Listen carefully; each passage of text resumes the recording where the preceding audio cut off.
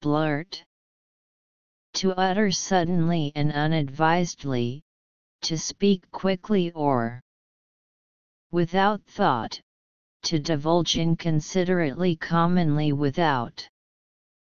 Please think about your reply and don't just blurt out the first thing that comes to mind. Blurt. To utter suddenly and unadvisedly, to speak quickly or without thought, to divulge inconsiderately commonly without. Please think about your reply and don't just blurt out the first thing that comes to mind. Blurt.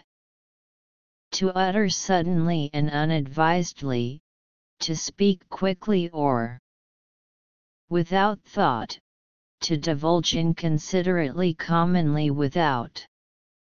Please think about your reply and don't just blurt out the first thing that comes to mind.